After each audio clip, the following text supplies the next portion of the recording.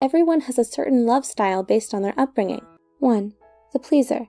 The pleaser often grows up in a home with an overly protective or angry and critical parent. Pleasers often spread themselves thin trying to be everything to everyone when it's not realistic. 2. The victim.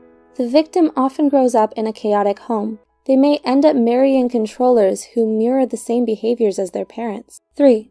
The controller.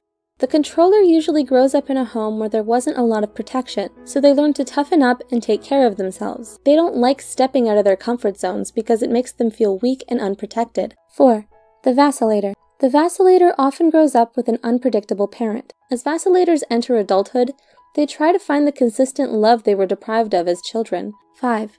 The avoider. The avoider often grows up in a less affectionate home that values independence and self reliance, and rely on logic and detachment more than their emotions. Which love style do you identify with? Please share your thoughts with us below.